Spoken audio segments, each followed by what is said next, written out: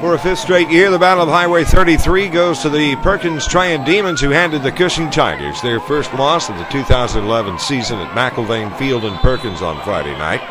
Demons won 30 to 22 in a game that saw the Tigers trying to tie the score on the final play of the game. Cushing led 14 to 12 at halftime, getting a six-yard touchdown run from Dawson Myers, a nine-yard TD run from Blake Murray. The Demons also scored two touchdowns in the first half, but missed the extra point kick on the first score of the game, and then missed a two-point try on their next score in the second quarter. Second half was mostly all Perkins Tryon as the Demons reeled off 18 straight points, a 33 yard field goal, and two touchdowns before the Tigers could answer back with a score of their own. With a minute 30 in the game, Cushing got a touchdown pass from Blake Murray to Dawson Myers, and then a two point conversion.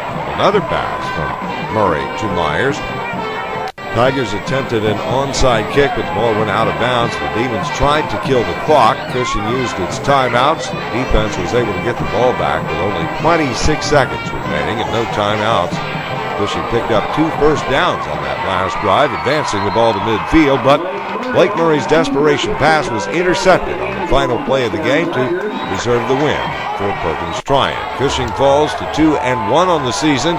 Demons also go to 2 and 1 It was their first home win of the 2011 campaign. Cushing will now host the Harrah Panthers at Fay O'Dell Field next Friday night at 7.30.